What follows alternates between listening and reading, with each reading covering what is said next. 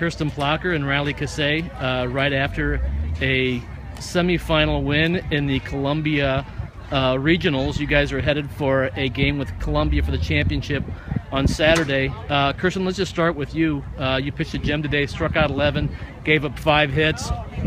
Um, looked like you had great command of the strike zone and, and really good uh, um, velocity too. Your coach said it was one of the best games you've pitched all year. Is, is that kind of what you were thinking too? Yeah, I, th- I felt really good the whole time, and I knew I knew that whenever I did get in a rut, my defense was going to pick me up, and I knew that I had the strike zone to work with today because sometimes that umpire will be squeezing you, and that didn't happen today. So I got a couple calls that maybe were on the fence, but I'm glad that I got the calls.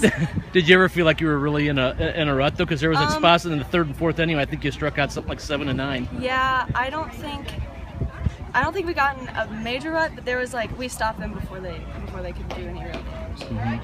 Uh, Reilly, you, you came into the number two spot and had two RBIs. Uh, drove home, I think, your number eight hitter twice. You guys got a lot of protection or a lot of production out of the bottom half of the order, which set things up for you.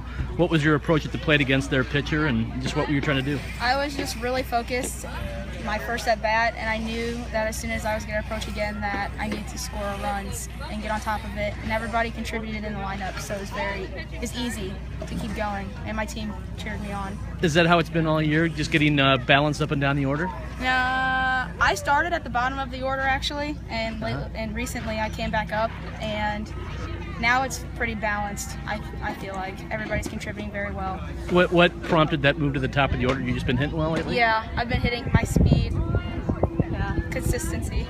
So what do you guys, either one of you or both of you, what are you guys looking forward to with Columbia? They've got a reputation, and you guys have a reputation too as Highland Bulldogs Yeah. coming back late in the season and making a postseason run. So how do you guys feel about the game I mean, Saturday? we played them the other like last weekend or so in the triad tournament, and we we were down after our Aubrey, our other pitcher, got hurt, and we made a really good run in the last inning, but it got stopped a little short, and we should have. I feel like we should have got that game, but I feel like we didn't make a really good. Six to really good five, I think, was the final. Yep. Uh, what do you think, Reilly? Um, Is it, you guys looking forward to playing be- again? Yeah, I think it's going to be a really good game. It's going to be very close. But if we keep our head in it, then I think we can get the win. Very good. Thanks, ladies. Congratulations.